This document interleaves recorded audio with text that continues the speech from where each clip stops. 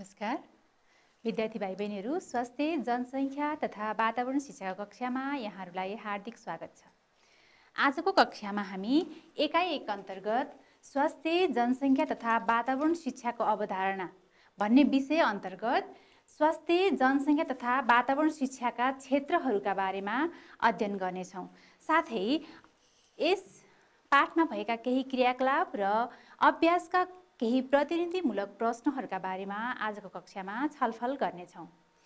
विद्यार्थी भाइ बहिनीहरू हामीले यसभन्दा अगाडिको कक्षामा स्वास्थ्य शिक्षा त्यसको महत्त्व र आवश्यकता जनसङ्ख्या जनसङ्ख्या शिक्षा त्यसको महत्त्व र आवश्यकता साथै वातावरण शिक्षा वातावरण शिक्षाको महत्त्व र आवश्यकताका बारेमा अध्ययन गरिसक्यौँ।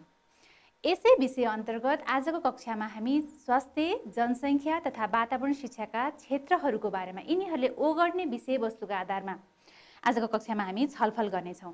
क्षेत्र भन्नाले के हो त भन्दा सम्बन्धित विषयवस्तुले प्रभाव पार्ने वा ओगर्ने क्षेत्रलाई विषयवस्तुलाई हामी त्यस विषयवस्तुको क्षेत्र भन्छौँ। जस्तै स्वास्थ्य शिक्षाले ओगर्ने क्षेत्र त्यो कहाँसम्म फैलिएको हुन्छ त स्वास्थ्य शिक्षालाई? कहाँसम्म लान सकिन्छ त भन्ने विषयको अध्ययन गर्ने शिक्षालाई अध्ययन गर्नुलाई हामी स्वास्थ्य शिक्षाको क्षेत्र भन्छौँ।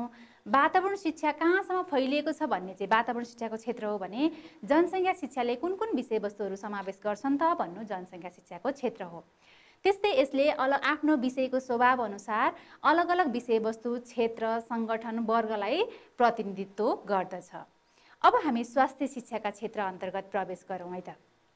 स्वास्थ्य शिक्षा मानिसलाई स्वास्थ्य सम्बन्धी ज्ञान दिनको लागि प्रदान गरिने शिक्षालाई स्वास्थ्य शिक्षा भनिन्छ।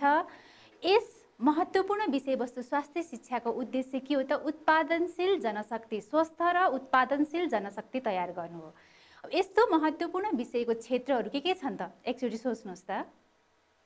आफ्नो कक्षामा छलफल गर्नुहोस् पक्कै पनि गरिरहनु भएको छ होला र तपाईँहरूले सोचेका विषयवस्तुहरू के के मिले त? पक्कै पनि तपाईँहरूले केही कुरा मिले होलान् कुनै कुरा नमिले होलान्। अब हेरौँ कस्ता कस्ता क्षेत्रहरूलाई समावेश गर्छन् त? एकचोटि व्हाइट बोर्डमा हेर्नुहोस् त। स्वास्थ्य शिक्षाका क्षेत्रहरू। स्वास्थ्य शिक्षाका क्षेत्रहरूलाई यसको विषयको प्रकृति अनुसार दुई भागमा बाँडिएको छ। सामाजिक रहनसहनका आधारमा र अन्य विषयसँगको सम्बन्धका आधारमा स्वास्थ्य शिक्षाका विषयवस्तुहरूलाई दुई भागमा बाँडिएको छ। त्यस अन्तर्गत सामाजिक रहनसहनका आधारमा घर घर बालकको पहिलो पाठशाला हो। मानिसले जीवनका महत्त्वपूर्ण समयहरू एकदम आधार समयहरू घरमा बिताएको हुन्छ। हामीले घरबाट धेरै कुरा सिकेका हुन्छौँ। घर बालकको पहिलो पाठशाला हो। स्वास्थ्य सम्बन्धी बानी व्यवहार निर्माण गर्नलाई होस् त्यस्ता बानी व्यवहारहरूमा सुधार गर्नलाई होस् हामीले घरको महत्त्वपूर्ण बालकको लागि घर महत्त्वपूर्ण अब ठाउँ हो। त्यसकारण स्वास्थ्य शिक्षाले घरका विभिन्न पक्षहरूको बारेमा पनि अध्ययन गर्छ। त्यस्तै विद्यालय बालकले आधारभूत शिक्षाको सुरुवात विद्यालयबाट नै गर्ने गर्छ।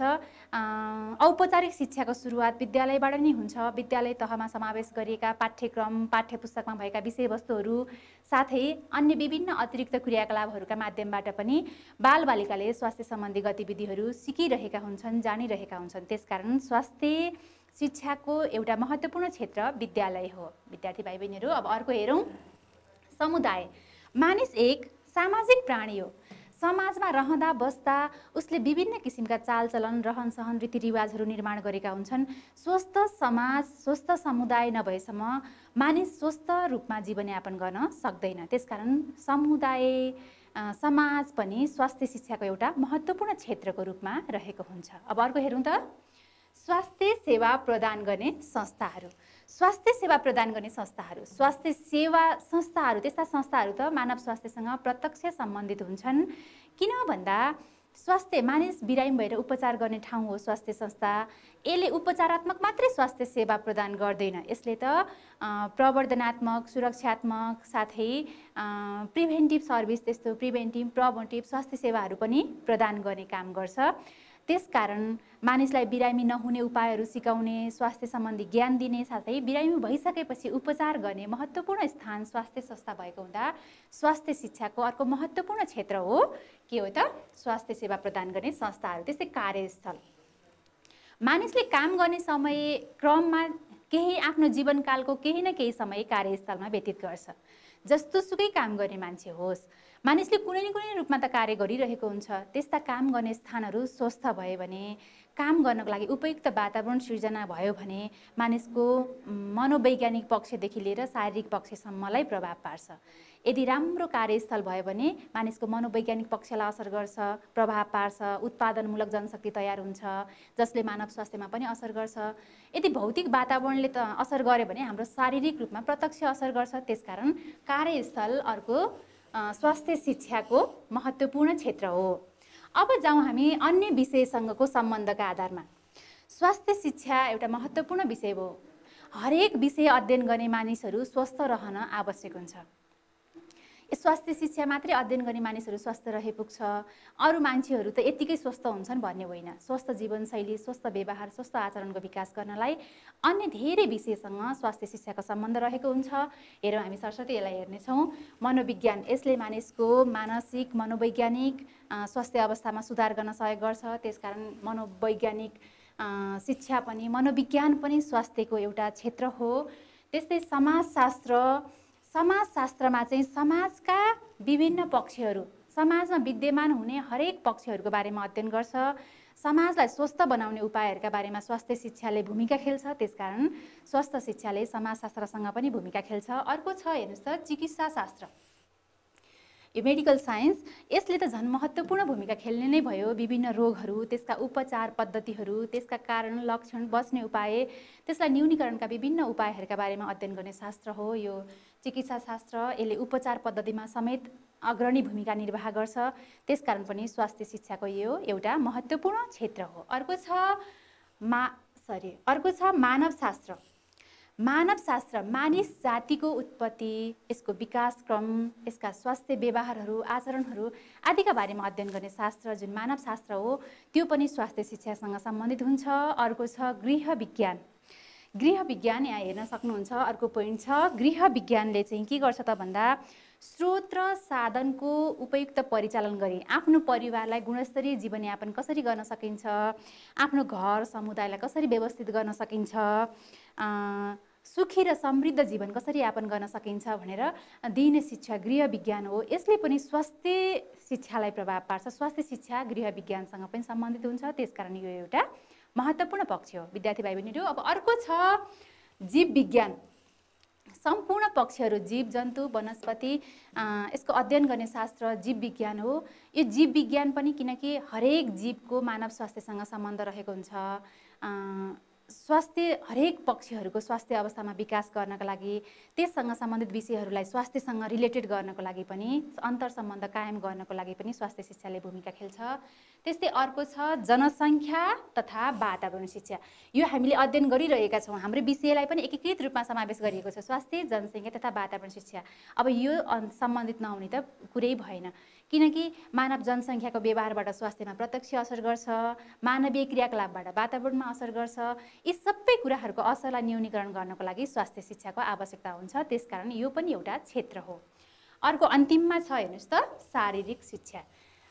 शारीरिक शिक्षा भनेको विभिन्न शारीरिक क्रियाकलापका माध्यमबाट प्रदान गरिने शिक्षा। शारीरिक शिक्षा हो शारीरिक शिक्षाले चाहिँ व्यक्तिका गतिविधिहरू योगासन त्यहाँ गरिने कसरत व्यायाम विभिन्न किसिमका आसनहरू जस्ता विभिन्न क्रियाकलापबाट मानिसको स्व शरीरलाई स्वस्थ राख्न का लागि विभिन्न उपायहरू प्रदान गर्छन्। अहिले हाम्रो अस्वस्थ जीवनशैली विकसित भइरहेको छ। शारीरिक गतिशीलताका क्रियाकलापहरू एकदम न्यून भइरहेका छन् मानव जीवनमा। त्यसकारण शारीरिक गतिशीलताका माध्यमबाट स्वस्थ जीवनयापन गर्न सहयोग गर्नको लागि शारीरिक शिक्षाको एउटा महत्त्वपूर्ण भूमिका हुन्छ जुन स्वास्थ्यसँग सम्बन्धित क्षेत्र हो। विद्यार्थी भाइ बहिनीहरू अहिले हामी स्वास्थ्य शिक्षाका विभिन्न क्षेत्रहरूका बारेमा छलफल गऱ्यौँ। पक्कै पनि यहाँहरूले बुझिरहनु भएको छ आफ्नो कक्षा कोठामा पनि यस विषयसँग ध्यान दिएर सुनिरहनु भएको छ साथै छलफलमा पनि सहभागी भइरहनु भएको छ होला। अब हामी जनसङ्ख्या शिक्षाका क्षेत्रमा जाउँ है त। जनसङ्ख्याका शिक्षाका क्षेत्रहरू के के हुन्छ? एकचोटि क्लासमा छलफल गर्दै गर्नुहोस् त तपाईँहरू। के के कस्ता कस्ता क्षेत्रहरू जनसङ्ख्या शिक्षामा विद्यमान हुन्छन्? जनसङ्ख्या शिक्षा विषयले समेट्ने अथवा ओगट्ने क्षेत्रहरू जनसङ्ख्या शिक्षाका विषयवस्तुहरू हुन्। कस्ता कस्ता क्षेत्रहरू ओगट्छ त? एकचोटि हेरौँ त। अब तपाईँहरूले छलफल गरेका कुराहरू मिले कि मिलेन। आफू आफूमा छलफल गर्नुहोस् साथै यहाँ हेर्न पनि सक्नुहुन्छ है त। अब हामी यसका बारेमा छलफल गर्छौँ। जनसङ्ख्या शिक्षाका क्षेत्रहरू के के छन् त भन्ने विषयमा हेर्नुहोस् त। एउटा छ जनसाङ्ख्यिकी। जनसङ्ख्या शिक्षाको प्रमुख क्षेत्र हो जनसाङ्ख्यिकी। पहिलो क्षेत्र हो। जनसाङ्ख्यिकी भनेको के हो त भन्दा जनसङ्ख्याको व्यवस्थित र वैज्ञानिक अध्ययन गर्ने शास्त्र जनसाङ्ख्यिकी डेमोग्राफी हो। यसले चाहिँ जनसङ्ख्याको आकार प्रकार प्रादेशिक वितरण भौगोलिक बनावट आदिको आधारमा कहाँ कस्तो कति जनसङ्ख्या फैलिएर रहेको छ भन्ने कुराको बारेमा गणितीय तथा तथ्याङ्कीय रूपमा अध्ययन गर्छ। यस्तो शास्त्रलाई हामी के भन्छौँ? जनसाङ्ख्यिकी भन्छौँ। यस विषय अन्तर्गत कस्ता कस्ता विषयवस्तुहरू समावेश गरिन्छ त? हेर्नुहोस् त। अब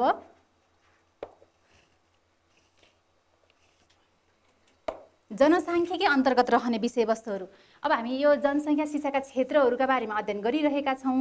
यो जनसङ्ख्या शिक्षामा जनसाङ्ख्यिकीले कस्ता कस्ता कुरा जनसाङ्ख्यिकी अन्तर्गत पर्ने विषयवस्तुहरू कस्ता कुराहरू पर्छन् त भन्दा प्रमुख जनसाङ्ख्यिक प्रक्रियाहरू पर्छन् यसमा चाहिँ साथै यो प्रजनन मरण बसाइसराई यस्ता प्रक्रियाद्वारा जनसङ्ख्यामा घरबड आउँछ। त्यस्तै जनसाङ्ख्यिक मापनहरू विभिन्न सङ्ख्यात्मक रूपमा रहेका तथ्याङ्कलाई मापन जनसङ्ख्याका तथ्याङ्कहरूलाई गणितीय रूपमा यसले दरमा परिणत गर्ने काम गर्छ। त्यो मापन हो। त्यस्तै अर्को छ जनसाङ्ख्यिक तथ्याङ्कहरू विभिन्न विषयका तथ्याङ्कहरू हुन्छन्। जनसङ्ख्याको आकार वृद्धि दर वितरण जनघनत्व तथा अन्य विशेषताहरूका बारेमा पनि यसले छलफल गर्छ जनसाङ्ख्यिकीले। अर्को छ जनसङ्ख्याको वितरणका बारेमा पनि अध्ययन गर्छ। जनसङ्ख्या कसरी फैलिएको छ? हिमाल पहाड तराई पाँच विकास क्षेत्र अझै भनौँ। अहिले अब सात प्रदेशमा हाम्रो देश विभाजन भइरहेको छ। कस्तो कस्तो जनसङ्ख्या छ त प्रदेशअनुसार?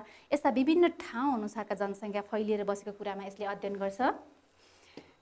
त्यस्तै अर्को छ जनसङ्ख्या वृद्धिका कारण र परिणामहरू। जनसङ्ख्या वृद्धिका कारणहरू र परिणामहरू हामीले अघिल्लो कक्षामा पनि थोरै छलफल गरेका थियौँ।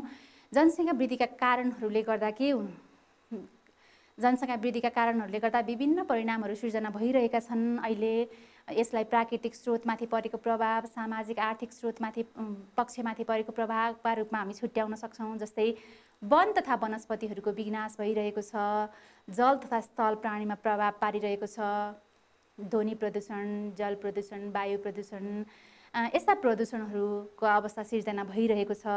खानीजन्य स्रोतहरू नष्ट भइरहेका छन् यस्ता समस्याहरू सिर्जना भइरहेका छन् भने सामाजिक र आर्थिक पक्षमा खाद्यान्नको अभाव शिक्षा स्वास्थ्यको समस्या त्यसमा एकदम भिड बढिरहेको छ मनोरञ्जनका साधनहरूको अभाव भइरहेको छ विभिन्न समस्याहरू सिर्जना भइरहेका छन्।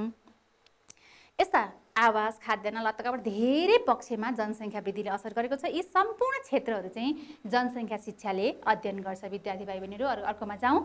जनसङ्ख्या नीति र कार्यक्रमहरू पनि जनसङ्ख्या शिक्षाको प्रमुख क्षेत्र हो। किनकि जनसङ्ख्या नीति र कार्यक्रमहरू हामीले राम्रोसँग लागू गर्न सकिएन त्यसलाई समय सापेक्ष बनाउन सकिएन भने जनसङ्ख्या र यससँग सम्बन्धित क्रियाकलापहरूलाई हामीले राम्रोसँग अगाडि बढाउन सक्दैनौँ।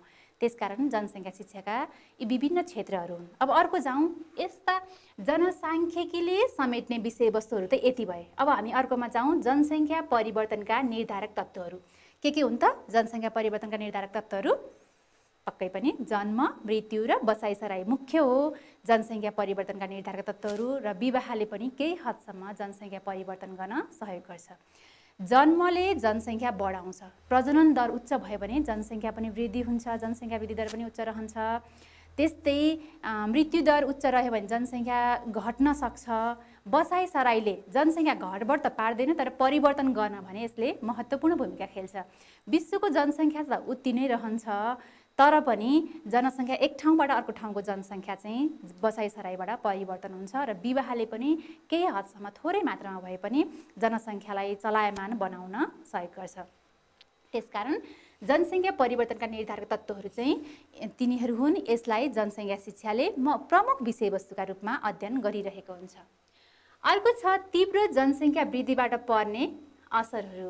विभिन्न क्षेत्रमा असरहरू सिर्जना भइरहेको छ। प्राकृतिक स्रोतमाथिको असर सामाजिक सांस्कृतिक पक्षमाथिको असर जुन हामीले अघि पनि छलफल गरिसक्यौँ विद्यार्थी भाइ बहिनीहरू अर्को छ मानव यौन तथा प्रजनन स्वास्थ्य। जुन जनसङ्ख्या प्रजनन प्रक्रियाको मुख्य जनसङ्ख्या हुनको लागि त मानिसको जन्म हुनको लागि प्रजनन चाहियो। प्रजनन हुनको लागि यौन आवश्यक विषय हो। त्यसकारण महिला प्रजनन प्रणाली पुरुष प्रजनन प्रणाली यसका कार्य प्रक्रियाहरू प्रजनन स्वास्थ्य सुरक्षित यौन विवाह व्यवहार सुरक्षित यौन जीवनशैली व्यतीत गर्ने कुराहरू चाहिँ यौन तथा प्रजनन स्वास्थ्यले समेट्छ। जुन कुरा जनसङ्ख्या शिक्षाले पनि एउटा आफ्नो महत्त्वपूर्ण विषय क्षेत्रका रूपमा अध्ययन गरिरहेको हुन्छ समावेश गरिरहेको छ। विद्यार्थी भाइ बहिनीहरू अब अर्कोमा जाउँ भविष्यका लागि योजना। के के योजना बनाउन सकिन्छ त भविष्यका लागि? तपाईँहरूले पनि आफ्नो जीवनको योजना बनाइसक्नु भएको छ होला। आफ्नो भविष्यको लागि म यस्तो गर्छु यति समयमा पढ्छु यति समयमा बिहे गर्छु भन्ने कुरा निर्धारण गरिसक्नु भएको छ होला। त्यो नै भविष्यको लागि योजना हो। यसमा कस्ता कस्ता विषयवस्तुहरू पढ्छन् त? अब अर्को पोइन्टमा हेर्नुहोस् त। भविष्यका लागि योजनाका लागि। भविष्यका लागि योजना। विवाहका लागि उपयुक्त उमेर। पहिला यो कति हो त? विवाहका लागि उपयुक्त उमेर। हाम्रो संविधानले पनि बिस वर्ष पारि विवाह गर्ने भनेर निर्णय गरिसकेको छ त्यसमा उल्लेख गरिसकेको छ।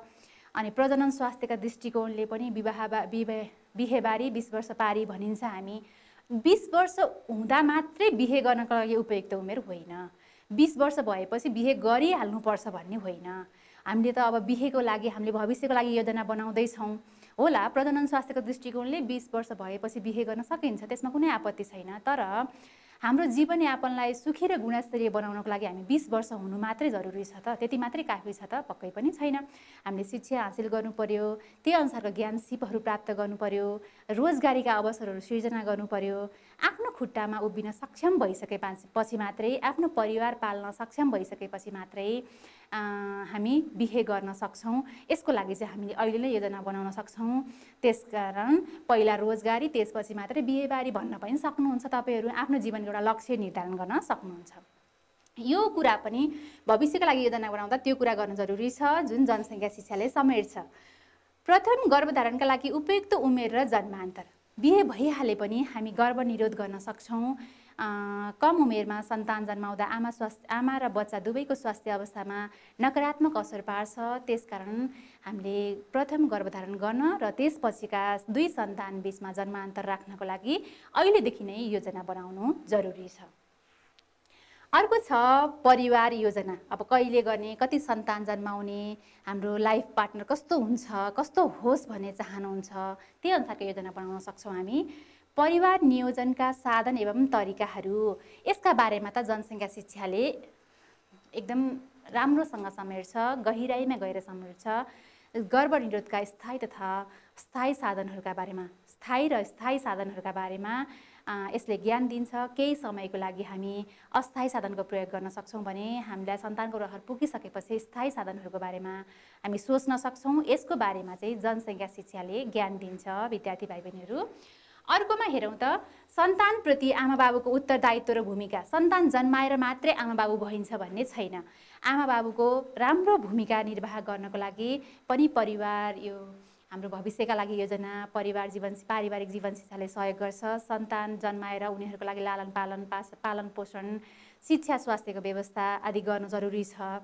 साथै यो त बाबुआमाको उत्तरदायित्व भयो। अब भूमिका सन्तानप्रति सधैँ बाबुआमा मात्रै भएर सन्तानलाई राम्रो लालन पालन गर्न सकिन्छ भन्ने होइन। गुरु हुनु पर्यो एउटा परिवारबाट धेरै कुरा सिक्न सक्छन् बालबालिकाले। एउटा असल मित्रको रूपमा भूमिका गर्नु पर्यो पथ प्रदर्शक बाटो देखाउने मान्छे हुनु पर्यो यस्ता कुराहरू पनि जनसङ्ख्या शिक्षाका क्षेत्र अन्तर्गत पर्छन्। अब गुणस्तरीय जीवन निर्माणका प्रयासहरू गर्नु पर्यो शिक्षाको व्यवस्था गर्नु पर्यो रोजगारीको व्यवस्था गर्नु पर्यो सिप सिक्नु पर्यो आय आर्जनमा संलग्न हुनु पर्यो आफ्ना सन्तानहरूबिच परिवारमा लैङ्गिक समानता कायम गर्नु पर्यो यस्ता विभिन्न क्रियाकलाप गऱ्यौँ भने मात्रै हाम्रो परिवार के हुन्छ त? सुखी खुसी र गुणस्तरीय बन्न सक्छ। यो त भयो भविष्यका लागि योजना। अब हामीले जनसङ्ख्या शिक्षाका क्षेत्रहरूका बारेमा नि अध्ययन गरिसक्यौँ। अब जाउँ वातावरण शिक्षाका क्षेत्रहरू। के के छन् त वातावरण शिक्षाका क्षेत्रहरू? हाम्रो वरपर रहेको जैविक तथा अजैविक वस्तुहरूको समीक्षणलाई हामी के भन्छौँ? समष्टिगत रूपलाई वातावरण भन्छौँ। यस्तो वृहत क्षेत्र ओगटेको वातावरणका वातावरणसँग सम्बन्धित हरेक पक्षहरू यसका क्षेत्रहरू हुन्। यसमा कुनै दुई मत छैन। तर यसलाई विश्लेषण गर्दा हामी के भन्छौँ त भन्दा जैविक पक्ष। यता जाउँ अब। जैविक पक्ष सम्पूर्ण यस संसारमा विद्यमान रहेका सम्पूर्ण जीवित जगतहरू जैविक पक्षहरू चाहिँ वातावरण शिक्षाको क्षेत्र अन्तर्गत समावेश हुन्छ। यसमा मानिस जीवजन्तु पशुपक्षी साना साना माइक्रो अर्गानिजमदेखि लिएर ठुला ठुला जीवजन्तुहरू पनि वातावरण शिक्षाको क्षेत्र अन्तर्गत पर्छन् जुन जैविक पक्ष अन्तर्गत रहेको छ। अर्को छ भौतिक पक्ष भौतिक पक्ष पनि दुई प्रकारका हुन्छन्। एउटा प्राकृतिक भौतिक पक्ष अर्को मानव निर्मित भौतिक पक्ष। यी सम्पूर्ण क्षेत्रहरू वातावरण शिक्षाका क्षेत्र अन्तर्गत आइपुग्छन् समावेश हुन्छन्। जस्तै मानव निर्मित भौतिक पक्ष वस्तुहरूमा आफूले जीवनयापन गर्ने क्रममा मानिसले निर्माण गरेका संरचनाहरू बाटो भवन कुल पुलहरू यस्ता संरचनाहरू निर्माण गरेको हुन्छ जसले वातावरणमा अनुकूल अथवा प्रतिकूल असर पार्न सक्छ किनकि विकास निर्माण गतिविधिले वातावरणीय प्रदूषण सिर्जना भइरहेको छ। त्यसकारण कृत्रिम वातावरण पनि वातावरण शिक्षाको एउटा क्षेत्र हो। अर्को छ प्राकृतिक वातावरण जुन प्रकृतिले निशुल्क रूपमा प्रदान गरेका छन्। हिमाल पहाड बो सरी ढुङ्गा माटो जमिन पानीका स्रोतहरू यी चाहिँ प्राकृतिक भौतिक पक्ष अन्तर्गत हुन्छन्। यिनीहरूको संरक्षण सम्वर्धन गर्नु पनि आवश्यक छ। त्यसकारण यिनीहरू चाहिँ वातावरण शिक्षाका क्षेत्रहरू हुन्। त्यसकारण भौतिक पक्ष पनि वातावरण शिक्षाको क्षेत्र हो भन्दा भन्न सकिन्छ। अर्को छ सामाजिक तथा सांस्कृतिक पक्ष। मानिस सामाजिक प्राणी हो समाजमा बाँच्छ यो हामी सबैलाई थाहा छ। यसरी समाजमा बस्ने क्रममा आफ्नो जीवन निर्वाह गर्ने क्रममा जीवनयापन गर्ने क्रममा मानिसले छुट्टै किसिमका सामाजिक सांस्कृतिक वातावरणहरू निर्माण गरिरहेको हुन्छ। यस्ता वातावरणहरूले समाजलाई सभ्य सुसंस्कृत बनाउनको लागि सहयोग गर्छ। त्यसकारण यस्तो हाम्रो समाजमा निर्माण गरिएका विभिन्न धर्म चाडपर्व संस्कारहरू संस्कृतिहरू रीतिरिवाज परम्पराले हाम्रो सामाजिक सांस्कृतिक वातावरणलाई समावेश गरिएको हुन्छ। त्यसकारण वातावरण शिक्षाको क्षेत्र चाहिँ सामाजिक सांस्कृतिक वातावरणलाई पनि पक्षलाई पनि लिन सकिन्छ। अब अर्को छ अर्को विषयवस्तु हेरौँ त हामी विद्यार्थी भाइ बहिनीहरू समसामयिक विषयवस्तुहरू पनि वातावरण शिक्षाको अर्को क्षेत्र अन्तर्गत आउँछ जुन अहिले जल्दो बल्दो समस्याका रूपमा सिर्जना भएको छ वातावरणीय प्रदूषणका क्रममा। यसले गर्दा वातावरणीय प्रदूषण सिर्जना भइरहेको छ वातावरणलाई असर गरिरहेको छ। त्यसकारण समसामयिक विषयवस्तुहरू पनि यसका क्षेत्रहरू हुन्। यसका बारेमा गहिरो अध्ययन भइरहेको छ। यसलाई न्यूनीकरण गर्ने उपायहरूका बारेमा खोजी भइरहेको छ। जुन कुरा हामी यहाँ हेरौँ त जस्तै समसामयिक विषयवस्तुहरूमा ओजन तहको विनाश हरित गृह प्रभाव विश्वव्यापी तापक्रममा वृद्धि जलवायुमा परिवर्तन र अम्लीय वर्षा जस्ता वातावरणीय समस्याहरू जुन समसामयिक विषय अन्तर्गत रहेर वातावरण शिक्षाले अध्ययन गरिरहेको हुन्छ। त्यसकारण यस्ता समसामयिक विषयहरू पनि वातावरण शिक्षाका क्षेत्रहरू हुन्। पक्कै पनि विद्यार्थी भाइ बहिनीहरू हामीले स्वास्थ्य जनसङ्ख्या तथा वातावरण शिक्षाका क्षेत्रहरूका बारेमा अध्ययन गरिसक्यौँ। तपाईँहरूले यस विषयका बारेमा धारणा स्पष्ट बनाइसक्नु भएको छ जानिसक्नु भएको छ यस सम्बन्धी विषयवस्तुहरू। अब हाम्रो आज युनिट एकाइ एक सकिएको छ। यसमा हामीले आज हामीले एकाइ एक सकाइसकेका छौँ। योभन्दा अगाडिका कक्षादेखि हामीले निरन्तर अध्ययन गरिरहेका छौँ। अब यस विषयमा एउटा क्रियाकलाप छ। आफ्नो पाठ्य पुस्तकको पेज नम्बर एघारमा एउटा क्रियाकलाप छ। हेर्नुहोस् त जुन क्रियाकलाप यो हाम्रो पावर पोइन्टमा पनि छ। अब पावर पोइन्टमा हेर्नुहोस्। साथै आफ्नो पाठ्य पुस्तकमा नै हेर्न सक्नुहुन्छ। त्यहाँ छ यो विषय पढिसकेपछि यो पाठ पढिसकेपछि भनेको छ। यो पाठ भनेको स्वास्थ्य जनसङ्ख्या तथा वातावरण शिक्षाको अवधारणा। यो पाठको ठाउँमा त्यही हामीले पाठकै च्याप्टर राखेका छौँ। सरी तपाईँले आफ्नो परिवारको स्वास्थ्य अवस्थामा सुधार ल्याउन के कस्ता कामहरू गर्न सक्नुहुन्छ? कुनै दसवटा कामहरूको सूची तयार गर्नुहोस् भनेको छ। अब पढिसक्नुभयो तपाईँहरूले। हामीले यत्रो चार दिन लगाएर विभिन्न पाठमा विभाजन गरेर हामीले यो पाठ पढिसक्यौँ। अब भन्नुहोस् आफ्नो स्वास्थ्य सुधार गर्नको लागि कस्ता कस्ता काम गर्न सक्नुहुन्छ त? अब यहाँ म केही नमुना के के कुरा सिक्नुभयो के के कुरा गर्न सकिन्छ हामीले भनेर केही नमुना उत्तरहरू प्रस्तुत गर्छु। तपाईँ चाहिँ तपाईँहरू फेरि यस विषयसँग यस पाठ यो कुरा अध्ययन गरिसकेपछि आफ्नो परिवारलाई विभिन्न ठाउँ परिवेश हाम्रो समाज भाषा पेसा अनुसार आफ्नो जीवनलाई आफ्नो परिवारलाई खुसी बनाउने तत्त्वहरू वेहरू प्रक्रियाहरू फरक फरक हुन सक्छन्। अब तपाईँ चाहिँ आफ्नो परिवेशसँग मिल्दोजुल्दो आफ्नो परिवारलाई खुसी बनाउने उपायहरू फेरि रिराइट गर्नुहोस् है त। अब हेरौँ। कस्ता कस्ता कुराहरू गर्न सकिन्छ त। हँसिलो तथा खुसी रहने। पहिला सुरु आफू खुसी नभएसम्म आफ्नो परिवारलाई हामी खुसी बनाउन सक्दैनौँ। अर्को स्वर नियन्त्रणमा रहने। पारिवारिक तना तनाव कलह नियन्त्रण गर्नको लागि स्वर नियन्त्रण जरुरी हुन्छ। पहिला आफूमा चेन्ज गर्ने अरूलाई चेन्ज गर्नुभन्दा पहिला चाहिँ। रोगहरूबाट बच्नका लागि निरोधात्मक तथा प्रवर्धनात्मक उपायहरू अवलम्बन गर्ने। निरोधात्मक उपायहरू चाहिँ के के छन् त भन्दा रोगबाट बच्नको लागि prevention is better than cure उपचार रोग लागेपछि उपचार गर्नभन्दा रोग लाग्ने नदिने उपाय जस्तै पोसिलो खानाको व्यवस्था गर्ने साना बालबालिकाहरूलाई खोप पोषणको व्यवस्था गर्ने यस्ता क्रियाकलापहरू गर्न सकिन्छ। त्यस्तै प्रवर्धनात्मक उपायहरू स्वास्थ्य अवस्थालाई अझै माथि उठाउन अझै अप बनाउनको लागि उपाय विभिन्न उपायहरू हामी अवलम्बन गर्न सक्छौँ। अर्को मानसिक तनावबाट मुक्त रहने। मानसिक तनाव त हरेक समस्याको एउटा जड हो हरेक समस्याको एउटा मेन पोइन्ट हो। त्यसकारण हामी मानसिक तनावबाट मुक्त रहनु रहने गर्नुपर्छ। अर्कोमा छ घर परिवार तथा समाजमा विद्यमान परम्परागत विश्वास र कुरीतिहरू हटाउन मद्दत गर्ने। अब तपाईँ कक्षा नौमा पढ्ने विद्यार्थी भइसकेपछि स्वास्थ्य जनसङ्ख्या तथा वातावरण शिक्षाको अध्ययन गरिसकेपछि स्वस्थ रहन कस्ता कस्ता क्रियाकलापहरू अप्नाउनु पर्दो रहेछ? हामीले हाम्रो जीवनलाई खुसी र सुखी बनाउन कस्ता उपाय अप्नाउनु पर्दो रहेछ भन्ने कुरा थाहा पाइसक्नु भएको छ। त्यसकारण हाम्रा समाजमा रहेका केही नराम्रा समस्याहरू विद्यमान रहेछन् भने पनि अन्धविश्वास त्यस्ता परम्पराहरू रहेछन् भने पनि हामीले त्यसलाई हटाउनको लागि बिस्तारै प्रयास गर्नुपर्छ र गरिरहनुपर्छ। किनकि यस्ता अन्धविश्वासहरू कुरीतिहरू जुन समाजमा पहिलेदेखि नै रहेका विश्वासहरूलाई हामी एकैचोटि हटाउन सक्दैनौँ। त्यसकारण यसको बिस्तारै पहल तपाईँहरू पनि गरिरहन सक्नुहुन्छ। अर्को छ स्वास्थ्यप्रति सकारात्मक धारणाको विकास गर्ने बी पोजिटिभ। पोजिटिभ थिङ्किङले धेरै कुरा राम्रो बनाउँछ त्यसकारण हामी गर्न सक्छौँ हाम्रो स्वास्थ्य अवस्थालाई हामी सुधार गर्नुपर्छ भन्ने धारणाको चाहिँ विकास गर्ने र आफ्नो परिवारमा पनि त्यो विश्वास जगाउने। आफ्नो परिवारलाई शारीरिक मानसिक तथा सामाजिक रूपमा स्वस्थ बनाउनका लागि आवश्यक उपायहरू अप्नाउने। कस्ता कस्ता उपाय अप्नाउन सकिन्छ त? अघि हामीले योभन्दा सबैभन्दा पहिलो कक्षामा हामीले डब्लुएचओको परिभाषाअनुसार शारीरिक मानसिक तथा सामाजिक विशेषताका बारेमा अध्ययन गरिसकेका छौँ स्वस्थ व्यक्तिका। अब ती विभिन्न उपा कुराहरूमा विकास गर्नका लागि आफूमा पहिला सुरु ती कुराहरूलाई अप्नाउने र आफ्नो परिवारलाई पनि सोही अनुरूपको क्रियाकलाप गर्नको लागि प्रेरित गर्ने गर्नुपर्छ। अर्को छ पारिवारिक जीवन शिक्षा र परिवार नियोजन जस्ता कुराहरूलाई व्यवहारमा अप्नाउन प्रोत्साहित गर्ने। अब तपाईँहरू त अहिले सानै हुनुहुन्छ होइन? परिवार नियोजन जस्ता साधनहरू अहिले तपाईँहरूले प्रयोग नगरेका पनि त नगरे पनि आफ्नो परिवारमा यसबारेमा जानकारी दिन सकिन्छ। साथै भविष्यमा हुने अभिभावक अभिभावक त तपाईँहरू नै हो।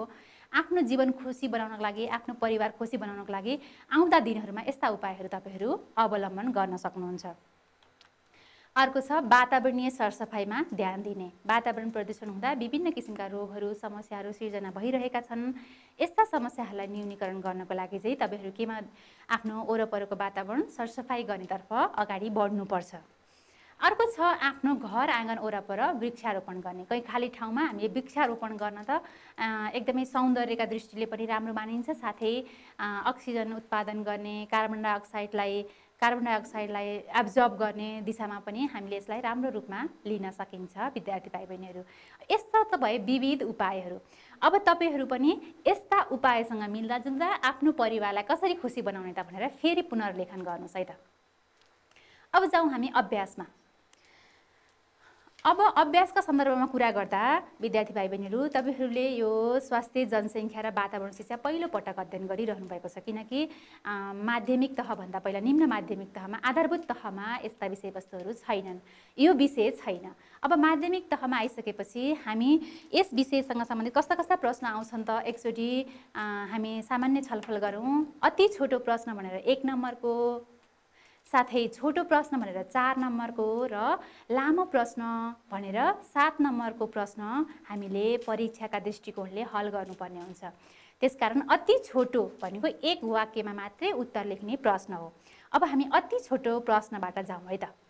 हाम्रो हामी एक एक नम्बरको छलफल गर्नेछौँ। हरेक हाम्रो अभ्यासमा समावेश गरिएका हरेक विषयवस्तु अन्तर्गत हामी एक नम्बरको प्रश्नको यहाँ कसरी उत्तर लेख्ने भनेर नमुना उत्तर छोटो छलफल मात्रै गर्नेछौँ। एक नम्बरको क नम्बर हेर्नुहोस्। विश्व स्वास्थ्य सङ्गठनले स्वास्थ्यलाई कसरी परिभाषित गरेको छ? अब स्वास्थ्यलाई कसरी कसरी परिभाषित गरेको छ त भन्दा यो एक नम्बरको मात्रै हो। त्यही भएर व्हाइट बोर्डमा हेर्नुहोस् त एक वाक्यमा मात्रै दिए पुग्छ। यो विश्व स्वास्थ्य सङ्गठनले दिएको परिभाषा नै तपाईँहरू इन्भर्टेड कमाभित्र लेख्न सक्नुहुन्छ। डब्लुएचओका अनुसार रोग र दुर्बलताबाट मुक्त हुनु मात्र नभई शारीरिक मानसिक तथा सामाजिक तवरले पूर्ण तन्दुरुस्त हुनुलाई नै स्वास्थ्य भनिन्छ। यति लेख्नुभयो भने तपाईँको एक नम्बरको एन्सर उत्तरको लागि पूर्ण हुन्छ। यो चाहिँ अति छोटो उत्तर। अरू पनि हामीले धेरै कुराहरू छलफल गरिसकेका छौँ अध्ययनका क्रममा। अब यस्ता अभ्यासहरू तपाईँहरू गर्न सक्नुहुन्छ। अब दुई नम्बरमा हेर्नुहोस् त। दुई नम्बरको नि हामी क नम्बरमै जाउँ। स्वास्थ्य शिक्षाका क्षेत्रहरूको तालिका बनाउनुहोस् भनेको छ। अब उत्तर लेख्दा छोटो उत्तर अथवा लामो। हेर्नुहोस् त व्हाइट बोर्डमा छोटो वा लामो उत्तर लेख्दा चाहिँ हाम्रो उत्तरलाई तिन खण्डमा पहिला सुरु परिचय दिने त्यसपछि मुख्य खण्ड लेख्ने। यसमा चाहिँ हामी के गर्न सक्छौँ? मुख्य उत्तर चाहिँ मुख्य खण्डमा जे प्रश्नले मागेको छ त्यो उत्तर चाहिँ हामी मुख्य खण्डमा लेख्छौँ साथै अर्को चाहिँ निष्कर्ष लेख्छौँ। निष्कर्ष भनेको समापन गर्छौँ। यस्ता कुराहरू चाहिँ हामी समावेश गर्छौँ विद्यार्थी भाइ बहिनीहरू अब थोरै परिचय दिनुहोस् किनकि स्वास्थ्य शिक्षाले ओगट्ने विषयवस्तुहरू स्वास्थ्य शिक्षाका क्षेत्र अन्तर्गत पर्छन् भनेर हामी विषयवस्तु लेख्छौँ परि थोरै परिचय लेख्छौँ। अनि क्षेत्रहरू जुन हामीले अघि हेरिसक्यौँ यही कुरा हामी यही तालिका बनाइदियौँ भने हाम्रो छोटो उत्तरमा पूर्णता हुन्छ विद्यार्थी भाइ बहिनीहरू जुन अघि एकछिन अगाडि हामीले छलफल गरिसक्यौँ। अब निष्कर्षमा चाहिँ अब सामाजिक रहनसहनका आधारमा र अन्य विषयको सम्बन्धका आधारमा स्वास्थ्य शिक्षाका क्षेत्रहरू फरक फरक हुन्छन् विभिन्न धेरै विषयवस्तुलाई समावेश गर्छ भनेर हामी लेख्न सक्छौँ। अर्कोमा जाउँ हाम्रो अभ्यासमा तिन नम्बरमा भनेको छ छोटो टिपोट लेख्नुहोस् भनेको छ। छोटो टिपोटमा चाहिँ यसमा एक प्यारेग्राफदेखि दुई प्यारेग्राफसम्म हामी छोटो लेख्न सक्छौँ। यसमा धेरै लामो लेख्नु पर्दैन छोटो टिपोट लेख्नु भन्दा सामान्य एक प्यारेग्राफदेखि दुई प्यारेग्राफसम्म लेख्न सक्छौँ। यसमा चाहिँ एक क नम्बरमा स्वास्थ्य शिक्षा छ जुन अलि हामी सजिलो भएको हुँदा म अलि पाठ्यवस्तुसँग नमिल्ने ग नम्बरको यसको एन्सर कसरी लेख्ने त भनेर देखाउँछु भाइ बहिनीहरूलाई एकचोटि पावर पोइन्टमा हेर्नुहोस् त। यो नै लेख्नुपर्छ भन्ने छैन। योसँग सम्बन्धित तपाईँहरू मिल्दोजुल्दो फेरि एन्सर लेख्नुहोस् है त। स्वास्थ्य जनसङ्ख्या र वातावरण शिक्षासँग विज्ञान तथा प्रविधि पक्षको अन्तर सम्बन्ध भनेको छ। अब कस्तो अन्तर सम्बन्ध छ त हेर्नुहोस् त। स्वास्थ्य जनसङ्ख्या र वातावरणका विविध पक्षहरूमध्ये विज्ञान तथा प्रविधि पक्ष पनि एक महत्त्वपूर्ण पक्ष हो। हाल विश्वमा सम्भव भएका जटिलभन्दा जटिल कार्य पनि विज्ञान तथा प्रविधिकै देन हो। नयाँ नयाँ सूचना तथा सञ्चार प्रविधिको विकास विभिन्न रोगहरूको कारण र उपचारको खोज विभिन्न यन्त्र तथा यातायातका साधनहरूको विकास र मानव अङ्ग प्रत्यारोपणदेखि अन्तरिक्षको यात्रा समेत विज्ञान र प्रविधिले गर्दा नै सम्भव भएको हो। विज्ञान र प्रविधिको विकासले गर्दा स्वास्थ्य शिक्षा सञ्चार आर्थिक सामाजिक लगायत विभिन्न क्षेत्रमा आधुनिक र सुविधायुक्त वस्तु तथा सेवाहरूको उपयोग सम्भव हुन्छ जसले गर्दा जनसङ्ख्या जनसङ्ख्याको जीवनस्तर सुध्रिन गई स्वास्थ्य जनसङ्ख्या र वातावरणमा पनि अनुकूल प्रभाव पार्दछ। त्यसकारण स्वास्थ्य जनसङ्ख्या र वातावरणको महत्त्वपूर्ण पक्ष विज्ञान तथा प्रविधिले स्वास्थ्य जनसङ्ख्या र वातावरण तथा यसका अन्य पक्षहरूलाई प्रत्यक्ष रूपमा प्रभाव पार्ने भएकाले यिनीहरूका बिचमा अन्तर सम्बन्ध कायम रहेको छ भनेर मैले यहाँ एउटा नमुना उत्तर तयार गरेँ। यस्तै गरेर अर्को पनि तपाईँहरू गर्नुहोस् है त। त्यस्तै चार नम्बरमा छ फरक छुट्याउनुहोस् फरक छुट्याउँदा हामी पहिला टी सेप बनाउँछौँ। हेर्नुहोस् त म सिधै यहाँ विषयवस्तुमा प्रवेश गरेँ। जनसङ्ख्या शिक्षा र वातावरण शिक्षाको बिचमा हामी क क नम्बरको छलफल गरिरहेका छौँ। त्यसमा चाहिँ अब टी सेप यस्तो आकारमा हामी टी सेपमा बनाउँछौँ र हामीले यहाँ पहिला परिभाषा लेखेका छौँ। यो दुइटैको परिभाषा हो। हामीले जुन योभन्दा पहिलाको कक्षामा पनि छलफल गरिसकेका छौँ त्यसकारण यो बिचको पढ्न जरुरी मानिन ठानिनँ मैले अहिले। तपाईँहरू यहाँ पढ्न सक्नुहुन्छ। साथै अर्को नम्बरमा चाहिँ मैले यहाँ तत् जुन हामीले क्षेत्रहरू अघिको यो भर्खरै हामीले पढ्यौँ यहाँ चाहिँ क्षेत्रहरूलाई उल्लेख गरिएको छ। यसरी अब यसका स्वा आवश्यकता र महत्त्वका बारेमा पनि जान सक्छौँ हामी। को को व्यक्तिहरू जिम्मेवार हुन्छन् संलग्न हुन्छन् भन्ने कुरा पनि जान सकिन्छ। यसरी हामी विविध पक्षका बिचमा फरक छुट्याउन सक्छौँ। अवस्था विद्यार्थी भाइ बहिनीहरू हामीले आजको कक्षामा स्वास्थ्य जनसङ्ख्या तथा वातावरण शिक्षाका विषयवस्तुहरूका बारेमा छलफल गऱ्यौँ। साथै क्रियाकलाप र अभ्यासका केही प्रतिनिधिमूलक प्रश्न र तिनीहरूको लेखन शैलीका बारेमा पनि छलफल गऱ्यौँ अब अभ्यासमा रहेका बाँकी क्रियाकलापहरू साथै प्रश्नपत्रको हल गर्नुहोस्। यससँग सम्बन्धित विषयवस्तुहरूका बारेमा पाठ्यपुस्तक साथै अन्य सन्दर्भ स्रोतहरूका मा पनि अध्ययन गर्नुहोस्। यस विषय सम्बन्धी धारणा अझै स्पष्ट हुन मद्दत गर्छ भन्दै आजको लागि बिदा हुन्छु। नमस्कार।